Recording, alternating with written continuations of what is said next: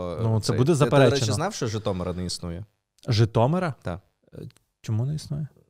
Які докази, що існує Житомир?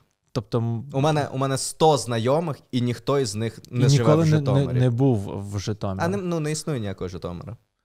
Е, Житомирські шкарпетки це, ну, це пропаганда просто. Це, це міф для того, щоб закріпити. Ну просто ну, отак от легко можна. е, якщо ну, просто Це- довго повторювати це. Причому це те, що можна реально перевірити, типу, поїхати туди і подивитися. Дивись, от ти їдеш кудись. Просто кудись їдеш. Так. Потім ти кудись приїжджаєш, і тобі кажуть, що це Житомир. Як ти можеш перевірити, що це саме Житомир? Не Вінниця, не Суми, а саме Житомир. Ну там написали люди, якісь написали, що це Житомир. Як ти? Ти можеш вімкнути своє критичне мислення і просто подумати, звідки докази?